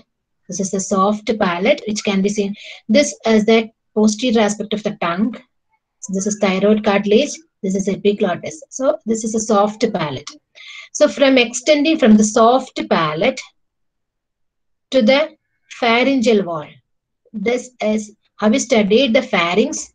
This is the superior constrictors of pharynx, middle constrictors of pharynx and inferior constrictors of pharynx. Have you studied? Yes, ma'am. Okay, so the cut section, cut section shows the representation of pharyngeal wall. So from the soft palate to the pharynx, there is palatopharyngeus muscle. Palatopharyngeus muscle. Then this is the styloid process. From the styloid process to the pharynx, stylopharyngeus. These are the two muscles which are attaching from the styloid process, and the uh, muscles which are attaching from the soft palate. So extrinsic muscles are attached to hyoid, attached to thyroid, and attached to soft palate and styloid processes. Understood? So extrinsic muscle, muscles which are attached to hyoid are sterno, sterno uh, uh, hyoid, thyrohyoid, and the muscle attached to thyroid is sternothyroid and thyrohyoid. The muscles which are acting as the elevators, which pulls the posterior aspect, that is, which acting as the elevators are palatopharyngeus and stylopharyngeus. The muscles, extrinsic muscles, which are helping for the upward and downward movement of the larynx during the deglutition. Muscle attaching to hyoid, muscle attaching to thyroid, and the muscles which are helping not completely but partially by attaching the posterior wall of the pharynx. They are stylopharyngeus and from the soft palate to pharynx, that is palatopharyngeus. Understood? Yes, ma'am. We will discuss the muscle again later. Now, the intrinsic muscles. The intrinsic muscles, there are the muscles which are acting on the vocal cords and there are the muscles acting on the epiglottis. The muscles acting on the vocal cord means they are helping for the phonation and respiration. Muscle acting on the vocal cord, which is helping to adduct the vocal cord and abduct the vocal cord. And tense the vocal cord, relax the vocal cord. Muscle acting on epiglottis, that is helping for the regulation of inlet of larynx. So, two muscle acting on the epiglottis is aryepiglotticus, which can be seen inside the aryepiglottic fold. Aryepiglottic muscle is the muscular fibers can be seen inside the aryepiglottic fold, which is attaching in between the arytenoid cartilage and the epiglottis. So the muscle is also attaching in between arytenoid cartilage and the epiglottis. It is the aryepiglotticus. Like that, the next muscle is thyroepiglotticus. The thyroepiglotticus muscle, it is attaching from the posterior surface of the thyroid cartilage to the epiglottis. Posterior surface of thyroid cartilage to the epiglottis, that is thyroepiglotticus. Both these muscles acting over the epiglottis, both these muscles acting over the epiglottis, the movement which is helping for the movement of epiglottis, which is covering the inlet of larynx. Partially guards the inlet of larynx. And the muscles acting on the vocal cord, that is, these are the important muscles which is acting over the vocal cord, which is helping for the respiration and the phonation, major two functions. The tension, the extension and the tension, that is by cricothyroid muscle and thyroarytenoid muscle. It is very easy to study the intrinsic muscle because all these muscles are termed or named according to the structures to which it is attaching. So cricothyroid means what are the structures attaching in between? That is cricoid cartilage and Thyroid. thyroid cartilage. So you can see the cricothyroid muscle. Can you see the cricothyroid muscle? Yes, this is cricothyroid muscle. The cricothyroid muscle, it is extending from the anterolateral part of arch of cricoid cartilage to the inferior cornua and adjacent part of lower border of lamina of thyroid cartilage. So it is extending from anterolateral part of arch of cricoid cartilage to the lower border and the inferior cornua and adjacent part of thyroid cartilage. This is the muscle which is named as the cricothyroid muscle. Cricothyroid muscle is supplied by means of external laryngeal nerve. So all the muscles of the larynx is supplied by means of the recurrent laryngeal nerve. Recurrent laryngeal nerve also the branch of vagus nerve ആണ് കേട്ടോ recurrent laryngeal nerve ആണ് entire muscles നെ supply ചെയ്യുന്നത് except except cricothyroid muscle which is supplied by means of the external laryngeal nerve. External laryngeal nerve is the branch of superior laryngeal branch of vagus. So superior laryngeal and recurrent laryngeal, they are the independent branches from the vagus and superior laryngeal divides to supply the larynx by means of internal laryngeal and external laryngeal. External laryngeal supplies the cricothyroid, internal laryngeal supplies the internal aspect, mucous membrane of the internal aspect of the larynx. So action, it lengthens and tenses the vocal fold. It lengthens and tenses the vocal cord. Two fibers can be seen, oblique fibers and the vertic fibers. These are the oblique fibers and this is the vertical fibers. Have you understood the cricothyroid muscle?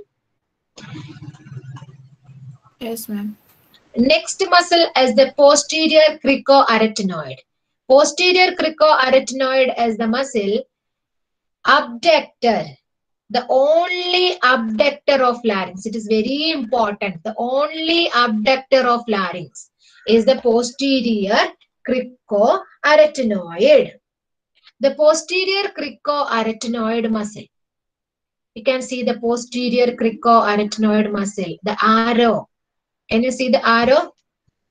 That arrow is located towards the posterior cricoarytenoid. The posterior cricoarytenoid is the only abductor of the larynx. That means unopposed action. Posterior cricoarytenoid, if any damage occurs to posterior cricoarytenoid, it can be lead to partially abducted position of the larynx, semi-abducted position of the larynx. So that because of the action, unopposed actions of the adductors, it will be in a semi-abducted position. That position of the larynx is known as cadaveric position of larynx. Cadaveric position of larynx. That is semi-abducted vocal fold, not opened rima glottis or not closed rima glottis. Semi-abducted position. Partially opened rima glottis. So this is the posterior cricoarytenoid muscle. It is attaching from posterior surface of cricoid lamina from the lateral to median edge, lateral to median edge, and back to muscular process of arytenoid. And it, it is extending to muscular process of arytenoid. So that is posterior cricoarytenoid. From the crico, cricoid lamina, lateral as posterior aspect of the cricoid lamina to the muscular process of the arytenoid. Lateral aspect the muscular process of arytenoid is known as the posterior cricoarytenoid muscle. Understood the second muscle? Posterior cricoarytenoid. Then lateral cricoarytenoid. This is the posterior cricoarytenoid.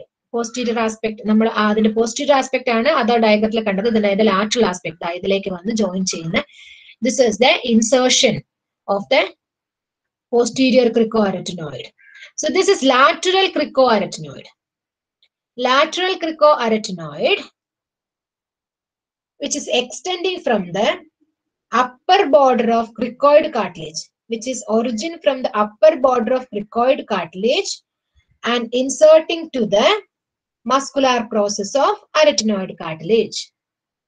Extending from upper border of cricoid cartilage to the muscular process of arytenoid cartilage, which is helping for the adduction of vocal cord, drawing together adduction of vocal cord. That is the muscle lateral cricoarytenoid. Are you listening to the class? Yes, ma'am. Yes, ma'am. Yes, ma'am. Okay. Next muscle is the oblique arytenoid. The oblique arytenoid can be seen like this. This is the oblique arytenoid which is crosses over. It closes the laryngeal inlet. This is the laryngeal inlet. Aryepiglottic fold can be seen here. By the action of this contraction of this muscle, this will help to close the laryngeal inlet. Laryngeal inlet. So oblique arytenoid, you can see that X-shaped muscle fibers passing cross by crossing towards each other. So that is named as the oblique arytenoid. It is continuous with the aryepiglottic form. Aryepiglotticus muscle, which can be seen inside the arytenoid, cut, uh, the aryepiglottic fold. Inside the aryepiglottic fold, the fibers forming as aryepiglotticus. Inside the arytenoid cartilage, it is forming as the aryepiglottic fold.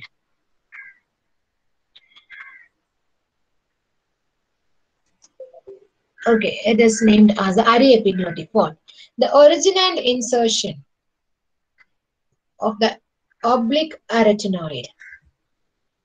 It is originating from the muscular process of arytenoid cartilage, the muscular process of arytenoid cartilage to opposite apex of opposite arytenoid cartilage. Muscular process, lateral aspect കാണുന്ന muscular process of muscular process of arytenoid cartilage നിന്ന് originate ചെയ്തിട്ട് passes to opposite സൈഡിലുള്ള opposite അപ്പെക്സിലോട്ട് attach ചെയ്യും opposite apex of opposite arytenoid cartilage. That's why it is named as the oblique arytenoid. Muscular process to opposite apex. So fibers extending from here to here, here to here, and it is upward extending as the ariepiglotticus. The aryepiglotticus extending from muscular process of arytenoid cartilage to margins of epiglottis. Muscular process of arytenoid cartilage to margins of epiglotticus. So, muscular process in the aryepiglotticus and oblique arytenoid muscle is originated. They are passes, oblique arytenoid passes to opposite arytenoid cartilage, aryepiglotticus passes to the aryepiglottic fold or the lateral borders of the epiglottis so it is a continuation. Both these muscles are interconnected or continuous each other. So that is the oblique arytenoid and aryepiglotticus have you understood? Yes, ma'am. Next is the transverse arytenoid. It is, the, it is the only pair you can see in between right and left arytenoid cartilage. It is connect the transverse arytenoid connects the posterior surface of right and left arytenoid. Posterior surface of another arytenoid. Originating from posterior surface of one arytenoid and inserting to posterior surface of another arytenoid. That that is named as a transverse arytenoid. The fibers which are traversing transversely. Transverse arytenoid which is named and it is action as the adduction. Again, it is helping for the adduction of moving closer of the vocal folds. Next muscle is the thyroarytenoid. Thyroarytenoid, which is helping to relax the vocal cord. Thyroarytenoid which is extending from, you can see the thyroarytenoid. This is the thyroid cartilage. So it is extending from thyroid to the arytenoid. That's why it is thyroarytenoid. I'll tell you which is the position.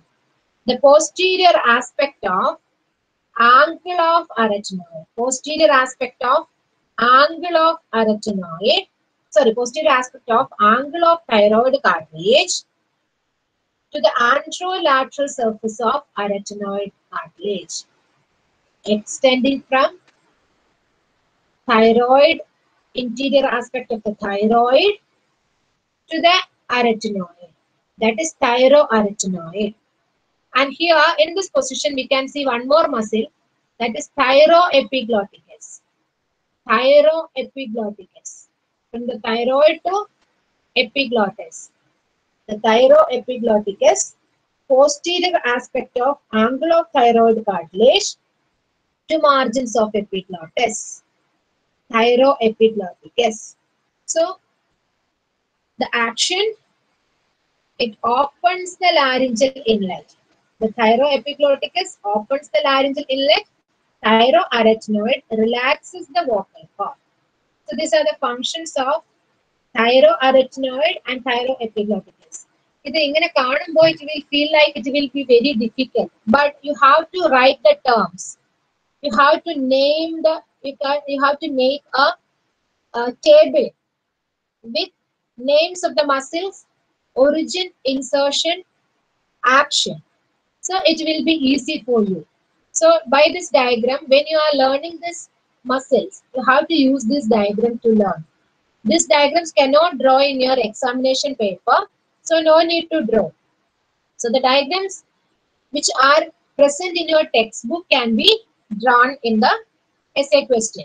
Okay, so these are the diagram. These diagrams are meant for the explanatory purposes. This cannot be drawn, so no need to draw in your examination paper or in your notebook. How to draw the diagrams from your textbook. Okay, so have you understood the thyroarytenoid and the thyroepiglotticus? Can you see the positions? Yes, ma'am. Next, some fibers of thyroarytenoid they forms the vocalis muscle. The vocalis muscle, which is present inside the vocal fold, from the thyroid cartilage to arytenoid. Some fibers, thyroarytenoid forming as the vocalis muscle. I have told you the vocal process or the true vocal cord is formed by vocal ligament, vocal process of arytenoid cartilage, and vocalis muscle.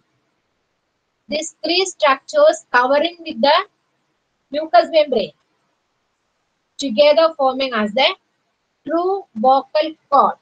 So it is helping to relax the vocal cord, the thyroarytenoid or the vocalis part of the thyroarytenoid muscle, which is helping to relax the vocal cord. So these are the muscles which can be seen in relation with the larynx. Now the action, this is the adduction of vocal cords. Adduction of vocal cords means the cavity, rima glottidis, which is present in between the vocal cords, will be closed.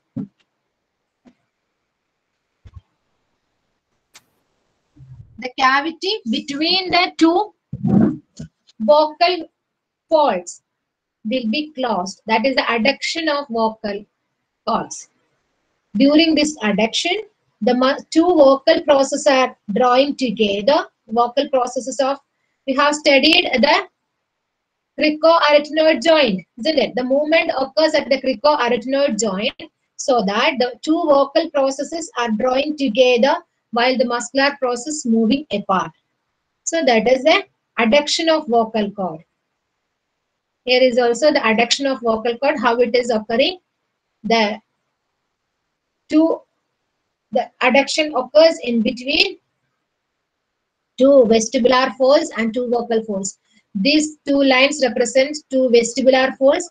These two lines represents two vocal folds. So this is clauses. The adduction by means this is moving to clause.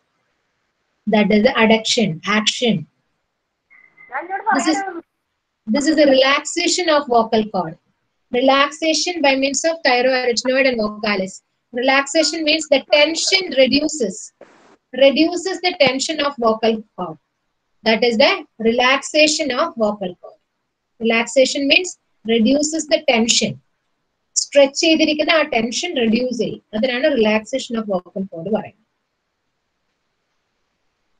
the tension of vocal cord occurs in which all joints, joints and muscles ഉം acting for the tension ആണ് പറഞ്ഞിരിക്കുന്നത് ക്രിക്കോതൈറോയിഡ് ജോയിന്റിൽ act ചെയ്യും and also it is cricothyroid muscle also helping for the tension of that is the movement occurs anteroposteriorly that is the the tension or stretching occurs anteroposteriorly that is the direction of uh, strain moving within the vocal cord. This is the. Rima glottidis is the space between the right and left vocal cords. It have got an intermembranous part and intercartilaginous part. This is the shape of the rima during the movement of vocal cords. In a resting condition, normal breathing in a resting condition, it can be seen like this. It's partially covered, partially opened.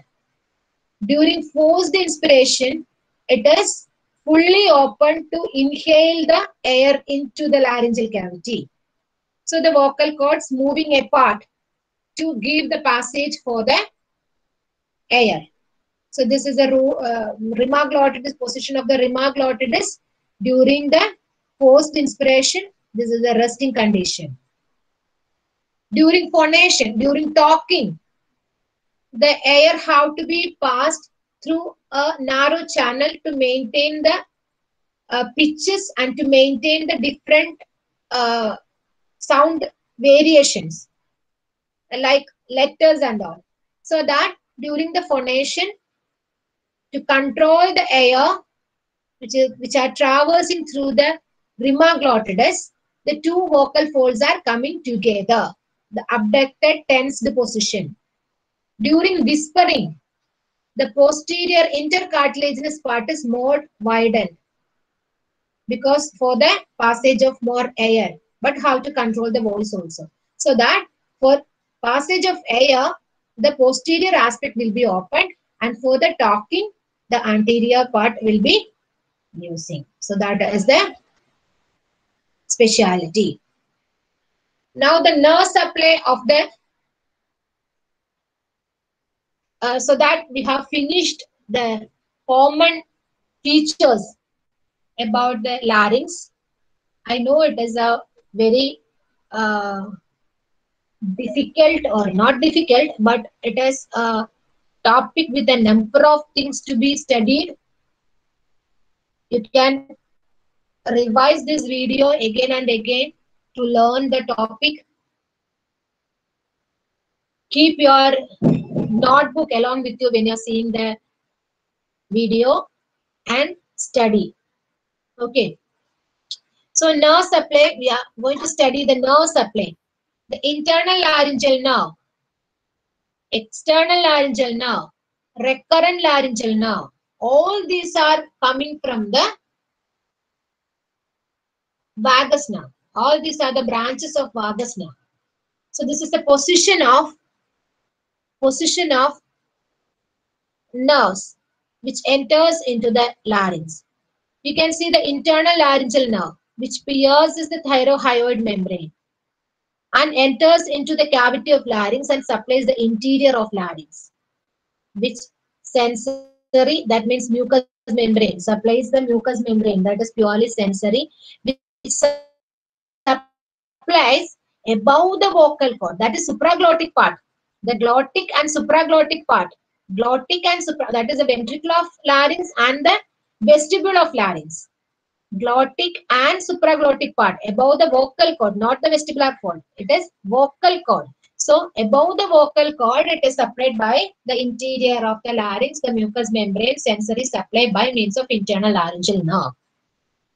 Below below the vocal cord it is supplied the sensory supply by means of recurrent laryngeal nerve. Again another branch of vagus nerve recurrent laryngeal nerve. Below the vocal cord it is supplied by recurrent laryngeal nerve.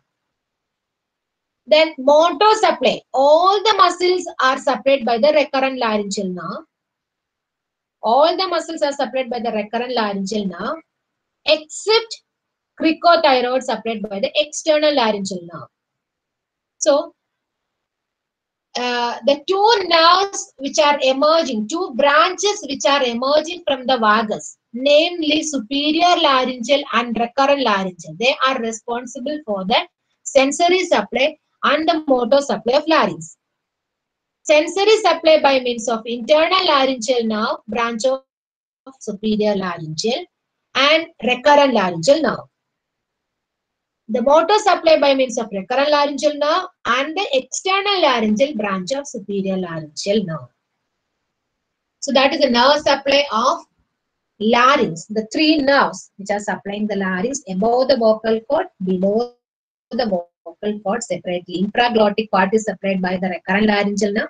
Supraglottic part is supplied by the internal laryngeal nerve. Inside the larynx, the mucous membrane is supplied by. Externally, the muscle is supplied by cricothyroid. Internally, all other muscles are supplied by recurrent laryngeal nerve. Understood? Yes, ma'am. Yes, ma'am. So the blood supply, you can see the arch of aorta. Can you see here arch of aorta? Yes, ma'am. Extend the Yes, arch of ma'am. aorta is shown. Ah, it, it is showing as this as the common carotid. Okay, the common carotid is dividing into external and internal carotid. Can you see this? External and internal carotid. Okay, so the uh, from an external carotid, the superior thyroid artery coming here. Isn't it? Superior thyroid artery. Superior thyroid artery is a branch of external laryngeal nerve. Sorry, so- I'm sorry. Superior uh, external carotid artery. Superior thyroid artery is a branch of superior thyroid artery is a branch of external carotid artery. So superior laryngeal branch of superior thyroid artery supplies the supraglottic part or the larynx supplied by means of superior laryngeal branch of superior thyroid artery, inferior laryngeal branch of inferior thyroid artery. Inferior thyroid artery is a branch of thyrocervical trunk of subclavian artery. Thyrocervical trunk. Thyrocervical trunk of subclavian artery gives the inferior thyroid artery. Inferior thyroid artery gives inter- inferior laryngeal artery. So, superior laryngeal and inferior laryngeal arteries are the arteries supplying the larynx. Superior laryngeal is branch of the superior thyroid. Inferior laryngeal is a branch of inferior thyroid. Understood? Lymphatic drainage. Lymphatic drainage above the so all the things are divided into above the vocal cord and below the vocal cord. It is developing as two different. That's why different styles. That's why above vocal cord and below vocal cord are different. Above vocal cord, uh, the upper deep cervical groove. Below vocal cord, it is passes to de- lower deep cervical. Above vocal cord, it is passes to upper deep cervical nodes. Below vocal cord, it is passes to lower deep cervical nodes. The upper deep cervical nodes, especially, the, it is a group of nodes. So the lymphatic drainage from the larynx, it is passes to antero superior group. The antero superior group. Antero superior group of upper deep cervical nodes. Upper deep cervical nodes, antero superior group of upper deep cervical nodes. Passes or it drains the upper or supraglottic part.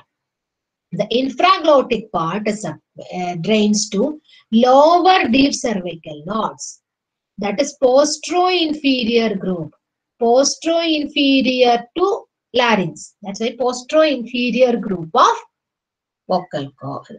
So we, if we are dividing the larynx into upper supraglottic and lower infraglottic part, upper part is passes to upper deep cervical, which is present antero-superiorly and the lower part passes to lower deep cervical which present postero-inferiorly.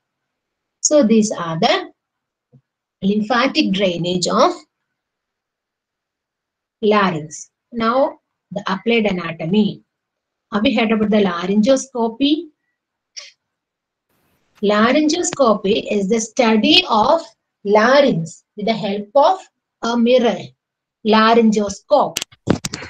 That is named as the laryngoscopy. That is the view of learning or study of larynx with the help of an instrument known as laryngoscope. It is named as a laryngoscope. It is an applied anatomy of larynx. In that, you can see the vocal cord, vestibular fold, esophagus, the rima glottis, all these things you can see. Tongue, all the things can be seen with the laryngoscope. So the study of larynx, internal aspect of larynx by means of laryngoscope. There is a nodule or a cyst can be seen in relation with the vocal fold. This is a vocal fold. Vocal fold, on the vocal fold, there may be the projection which is affects the speaking or which affects the phonation. It can be seen in singers and teachers mainly or screamers. It is named as the clergyman's nodules or teacher's nodule or singer's nodule. It is forming as a result of abuse of vocal cord. How we are using our vocal cord uh, so rashly for screaming or loud talking, all this can be lead to teacher's no nodule. Then laryngeal paralysis. The laryngeal paralysis can be depending upon the, the muscles can be seen on either side. So the laryngeal paralysis can be either unilateral or bilateral. That means either one side muscle may be affected or opposite side. Recurrent laryngeal nerve also present on right and left halves. So that uh, it may be unilateral. Any lesion or the damage occurs to recurrent laryngeal nerve or superior laryngeal nerve, which can be lead to laryngeal paralysis. And it, can be either uh, one-sided or both-sided. The recurrent laryngeal paralysis can be lead to uh, paralysis of posterior cricoarytenoid. Posterior cricoarytenoid, if it is paralyzed, the severe injury or section of nerve can be produces the paralysis of both abductors and adductors because both the abductors and adductors are supplied by means of recurrent laryngeal nerve, isn't it? So, if any injury occurs to recurrent laryngeal nerve, can be lead to the paralysis of abductors and adductors. The speciality is that there are the presence of two or more adductors are there, but only one abductor is there. So, this can be lead to a condition known as cadaveric position. That is between the adducted and abducted position. That is semi-abducted position. Between adducted and abducted position, the vocal cord will be positioned like that. It can it can be known as cadaveric position of larynx. In this case, phonation is completely lost. You can't talk. Why? Because the vocal cord cannot abducted or adducted. It is positioned or it will freeze at a position. Uh, and then uh, there is a specialized law which is mentioning the recovery of paralysis under treatment. The Semon's law that is dealing with progressive moderate lesion in case of uh, progressive moderate lesion that is a lesion which is gradually affecting the muscles. That is the Semon's law states like the first paralyzed muscle if the abductor is the first paralyzed muscle and last to recover. Abductor is the muscle which is first to paralyze and the last one to recover. So that is the progressive moderate lesion of recurrent laryngeal nerve can be lead to cadaveric position of the larynx. Understood? Then another important applied anatomy is the laryngeal obstruction. That is a common common thing. If any large obstacles or any object which is passes into the larynx that will be prevented by means of cough reflex. If any foreign object that touches your laryngeal inlet, that will be lead to cough reflex. We will a fast uh, reflex will be occurs by coughing it. We will spit it out. If any uh, object that will make damage on the internal laryngeal nerve by passing through this laryngeal inlet, that will break the reflex arc. That means there will not be any cough reflex occurs if the internal laryngeal nerve is damaged. There will not be any cough reflex occurs that can be allowed to entry of foreign body. So it can be lead to obstruction. So that prevention of entry of foreign particles occurs by means of cough reflex. If the internal laryngeal nerve is damaged, the cough reflex will be lost. That allows the entry of foreign body that can be lead to obstruction. So that is also a, against the protection function.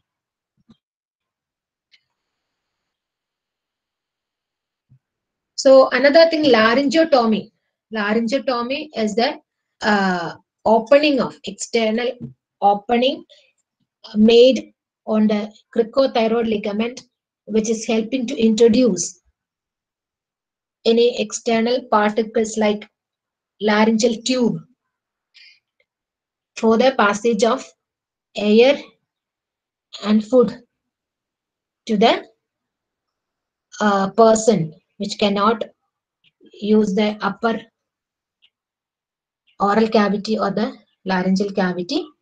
If any um, surgical correction occurs in that position above the uh, infraglottic part for the assistance of lower respiratory tract and the esophagus.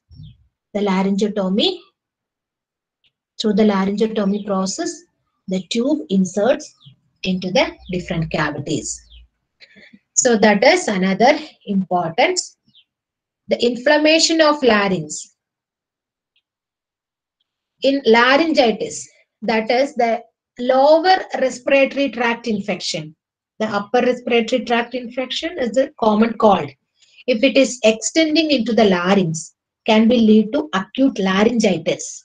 That acute laryngitis will lead to inflammation or expansion of the foldings, vestibular fold and the vocal fold that will partially covers the entry of air into the larynx. It can produce hoarseness of voice, that is the increased mass of the voice. Like that, another important applied anatomy is the malignancy of the larynx, the tumors of the supraglottic part, glottic part, or the infraglottic part. It is the common uh, cancerous stage which can be seen in smoking people's malignancy of larynx. So that is all about today's portion. Have you understood?